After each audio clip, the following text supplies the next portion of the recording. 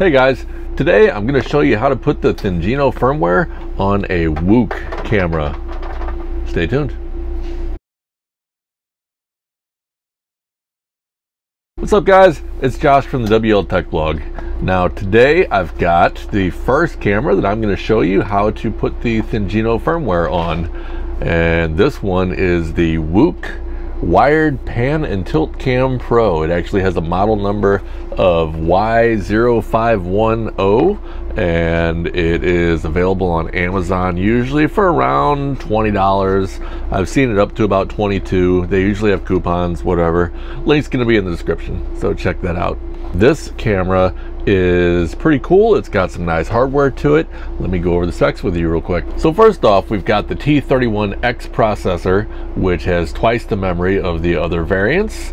It has the SC4336P camera sensor, and it has a SV6158 Wi-Fi chipset. Now, what does that mean for you?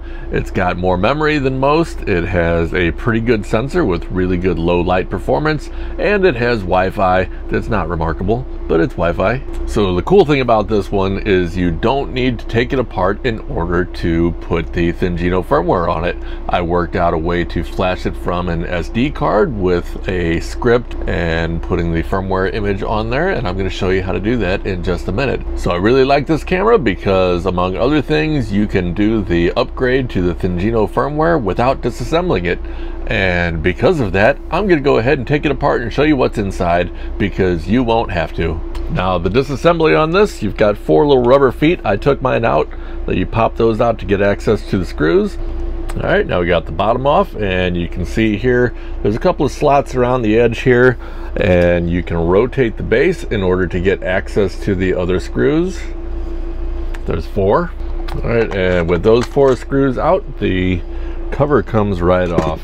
Now, on the tilt side here, this one actually has a screw that's holding the two pieces together and the best plan is to go ahead and take this one out so the whole thing comes loose. So I'll do that right quick and I'll go ahead and pop this one out. All right, with that out, we can go ahead and knock this loose and then a little bit of pressure to get these two halves apart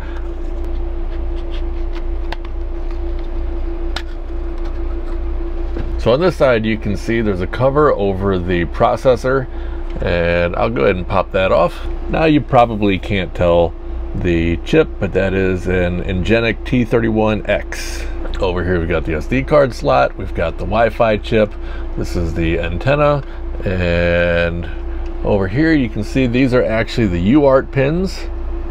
And after taking out three screws on the back and removing the SD card, this more or less pops right out. So the only thing really interesting over here, we've got a motor controller. Over here is the memory chip that you can see. And that's about it. And you're not going to have to mess with that because we're going to be doing an SD card upgrade. So go ahead and put this guy back together and we'll get started. If you do take yours apart, make sure when you're reassembling once you put the cover back on that your SD card stuff all lines up properly. I actually had that problem and had to tear the camera completely down and put it back together again with everything lined up. Here we've got the WUUK Pan and Tilt Wired Cam Pro User's Manual. Go ahead and open it up. Uh, setting up the system says page 5. So let's see what it says we should do in order to set up the camera. Step 1. Download the WUUK app register an account if you don't have an existing one. How about no? All right, let's make this SD card. So in order to do this, you're gonna need an SD card with at least 32 megs of space on it. And pretty much any SD card you can buy these days is gonna be measured in gigabytes, not in megabytes, so that shouldn't be a big deal. So we're gonna go over to the Thingino repository here and we'll go down to releases, go to firmware, and what we want is the Thingino for the WUUK Y0510.bin. So go ahead and download that file. Then over here we have both the script and the instructions for doing this process. So your SD card, you're gonna wanna have formatted to FAT32. If you're not sure, go ahead and just format it real quick and make sure. If it's exFAT, the firmware is not gonna be able to deal with that. So the older FAT32 is what you want to have. So the file that you downloaded from the Thingino repo, you want to rename that to auto update full.bin and you want to go ahead and drop that into the SD card.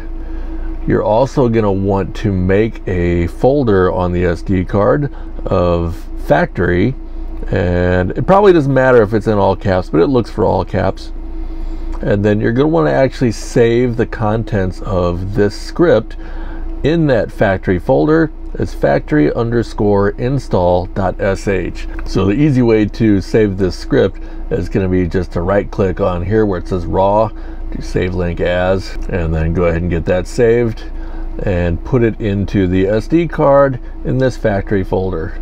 Now just quickly looking over the script, you can see what it's doing. It's going to mount the SD card. It's going to check for the existence of that auto update dash full if it's not there, it's going to say missing update. It's going to abort and exit. You're not really going to get any feedback on that. It's just going to not work. So make sure that you have that file in as auto update full.bin. So the next thing it's going to do is it's actually going to grab the bootloader out of that image using DD, which is pre-installed on the camera already. And it's going to take the first 256K of that update image, save it as this U-boot image. Then it's going to just do a quick sanity check here, make sure the files it expects to see are there. It's going to remove the file that says the flash has already been done if it's still there from a previous flashing.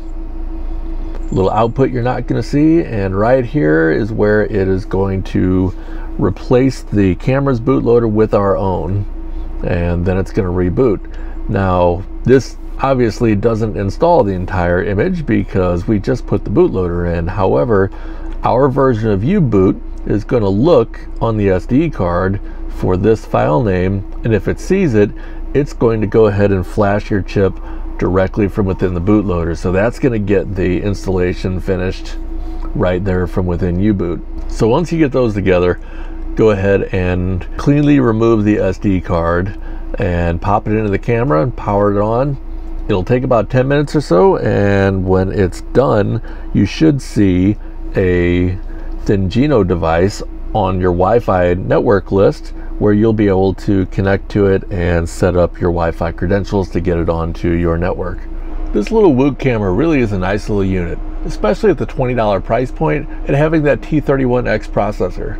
From a hardware standpoint, you would compare it to a much higher priced Wyze camera and the differences between brands really don't exist once you've upgraded to Thingino. I was happily surprised when I opened it up for the first time, and adding support for this model only took me a couple hours. I for sure wouldn't recommend spending extra on a Wyze over this, but I do have a few Wyze models that I'll get to soon. Well, this sure was an easy one, and I've still got a pile of cameras on my bench ready to create tutorials on. What would you like to see next? I've got indoor, outdoor, egg shape, square. I've got a doorbell. Some of these can be upgraded by SD, some by USB, and some require a flash programmer. Is there a particular method you want to explain? Let me know in the comments. Now as we wrap this video up, I just want to remind you to check out the introduction to Thingino if you haven't already.